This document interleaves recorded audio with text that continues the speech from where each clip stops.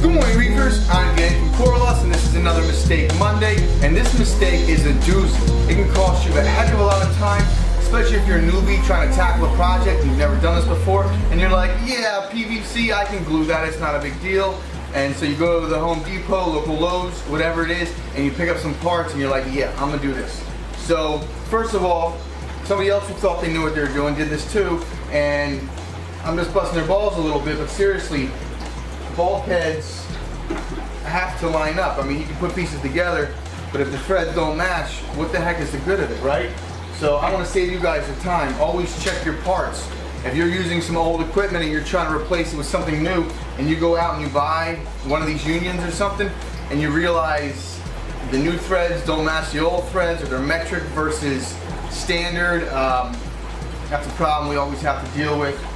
But I just wanted to warn you guys, always check your stuff before you glue it. I mean, now this has to be cut off, the pipe's gonna be shortened, I have to put in another sleeve so I can extend it, so I can make sure it's okay.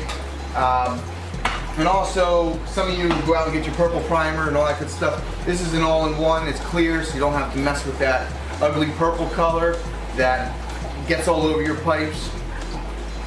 So this is some new PVC cement that I picked up.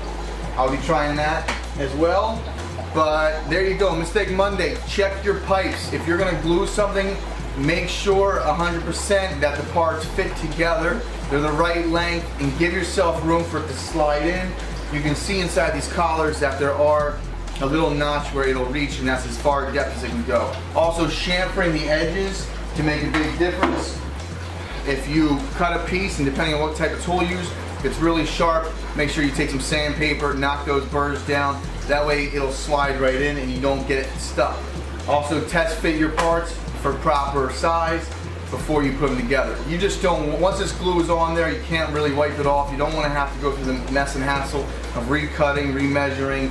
So measure twice, cut once, assemble once, do your homework, do your research, think about everything before you do it. Try not to ever rush. This hobby, haste makes waste. So thanks for watching, and as always, happy reefing. Until next time.